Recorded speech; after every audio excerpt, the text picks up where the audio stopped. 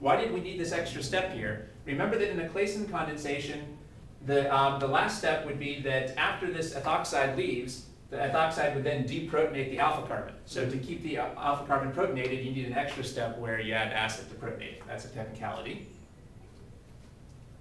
Well then, what do we need to do to get from here to here? Just add heat, And what would that do? uh, it would, uh, decarboxylate. Now, what is the precondition for a decarboxylation? What do you need for a decarboxylation? Uh, a beta, it need, uh, you need a carbonyl on the beta carbon. Now, the full slogan is, we need a beta carbonyl carboxylic acid. Oh, okay, so we gotta, well, first we gotta, uh, hydro, uh, do a hydrolysis. That's right. So you're, you've memorized one half of the slogan, but we need the other half too. We can't do a decarboxylation unless we have a carboxyl group. Okay. So we need a beta carbonyl carboxylic acid. So we need to do a hydrolysis. Well, what reagents could we add to do the hydrolysis? Water. And either acid or base. Hydrolysis has to be acid or base catalyzed. We could do this whole thing in one step if we just added hot H3O+, plus, but for some reason your instructor likes to do the base catalyzed version. So your instructor writes it like this. They do a base So you wouldn't have got, you wouldn't have gotten it from adding that water and that hydrochloric acid? Right there over the arrow? That's just gonna protonate it and that, that's not gonna, Ah, you know, that's a good point too. Um, I don't know why this doesn't do the hydrolysis. That's an excellent point. Uh, maybe uh, for some reason this is not added. Uh, you know, that that makes perfect. That, that's a good catch. I don't know why this doesn't do the hydrolysis. Maybe, uh, yeah, I really don't know. It seems like the, your instructor is really overcomplicating things here. Um, it seems like at this point you could just uh, add hot H3O plus, and then that would take care of everything right there. Yeah. I don't really know what, uh, in fact, so uh, this should already be a carboxylic acid here, but that's not how it's drawn here in the notes, but uh, that seems like a good point to me. Um, Of course, you could say that about any uh, Claisen condensation. We, we always follow it up with H3O plus, and, and we never assume that that's going to do a uh, hydrolysis. I'm not quite sure. Uh, I'm not quite sure why that is actually. Well, I, I guess one thing you should say is hydrolysis is kind of an equilibrium reaction. So um, in order to, to, to get the full hydrolysis, you usually have to be taking out the products to pull the equilibrium in the direction that you want. So if we're uh, if we're not uh, pulling the equilibrium in the direction that we want, we still get a lot of this ester. Anyway, I'll, I'll show you how your instructor wrote it, because that's probably how you see it on the test. But there, there does seem to be some shortcuts we could take here.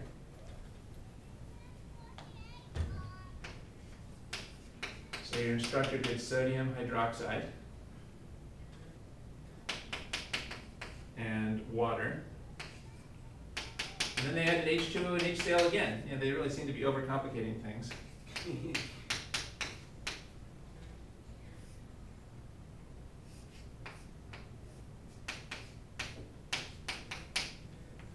So that would give us this.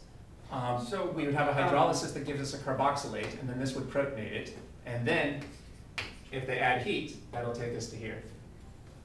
now the sodium hydroxide, uh, exactly, without showing the whole mechanism, what is that initiating there as far as a?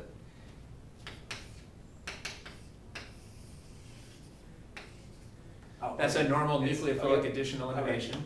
First, we're gonna unform the carbonyl, and then when we reform the carbonyl, we're gonna kick off the leaving group. Now, like you said, it seems like we could just as well have done that over here, under acid catalyzed conditions. Uh, but that's, for some reason, that's not how your instructor is showing it. So I guess we might as well see it the way your instructor is showing it. Okay.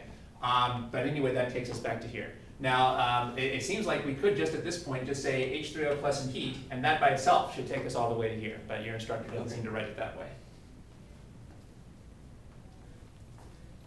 All right, well, this is definitely probably one Mark and try to go back through again. Uh, I know this seems hard, but this is a pretty standard type of problem. So one thing to keep in mind is that we can use Claisen condensations to make ketones. Uh, we can make, and we can make, this is a way to make ketones out of carboxylic acids and acid derivatives. Okay. Because even, um, we know the Claisen condensation only works on esters. But we can easily make other carboxylic acids and acid derivatives into esters. Here we started with a carboxylic acid, but it was very easy to use esterification to make it into an ester. And then we can use the Claisen condensation to change the ester into a ketone, a ketone with more carbons. This is a ketone with more carbons than we started. I think this was pretty tough, but the things that I think made it much simpler, so the things that you did was that you put in these numbers. That was good, although we might as well number this carbon too. What you maybe not didn't do is put in the alpha and the asterisks. I think that really helps us to, to identify the two fragments that we need to attack each other in the Claisen condensation. But, but this is just tough. It takes practice.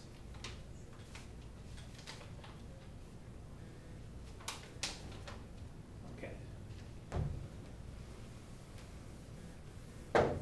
And only for ketones. Pardon? It just makes ketones.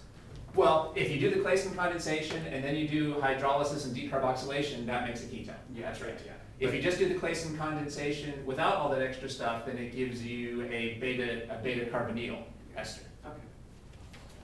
Well, that's where, uh, hopefully now we've got the basics, um, and now you can do a bunch of, uh, homework practice problems, because definitely, that's definitely something that takes practice, and looking at the answer key a few times.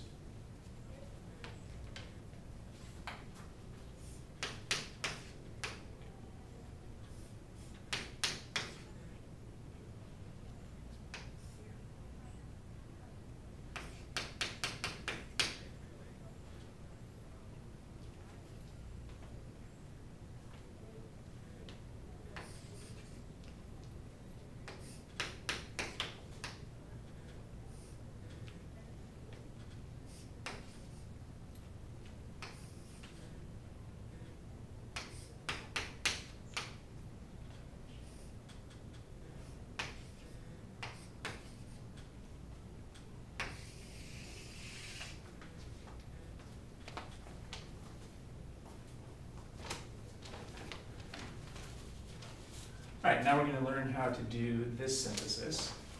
It's actually, actually, I guess this seems like the, pretty much the same thing we were talking about. So again, we're gonna see how we, well, uh, no, I guess, um, so we're gonna see how we can turn this one three dicarbonyl into these ketones. So actually, this is a continuation of what we were talking about before.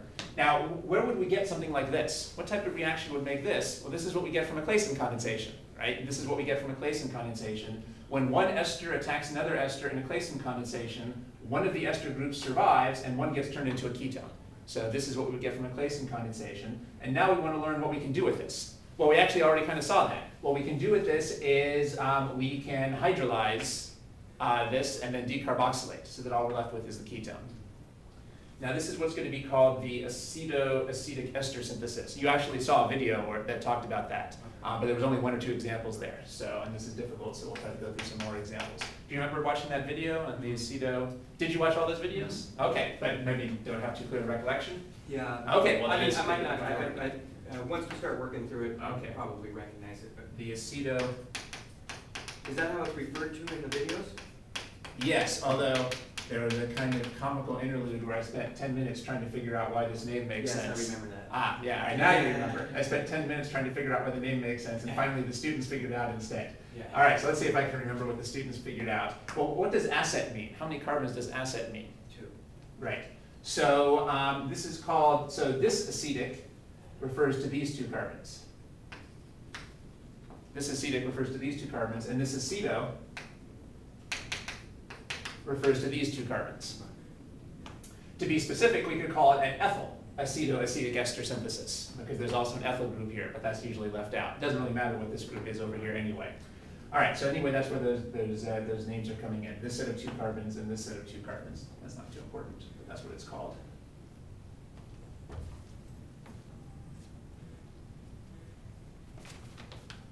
Now, actually, in a sense, we've already learned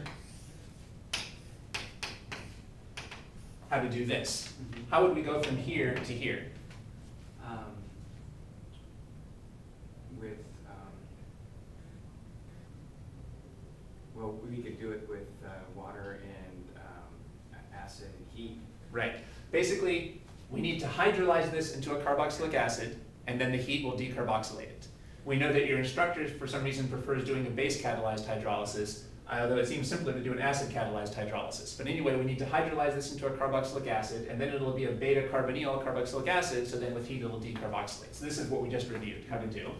And how do we make this in the first place? Well, we could make this with a Claisen condensation. When one ester attacks another ester, you get an ester and a ketone. But there's something more interesting we can do. Before we blast off this ester group, we can add extra alkyl groups to this carbon over here. This is what we could call the alpha carbon, right? So something we haven't talked about yet is we can also add extra alkyl groups to this alpha carbon. So we want to learn how to add extra alkyl groups to the alpha carbon and then blast off the ester group.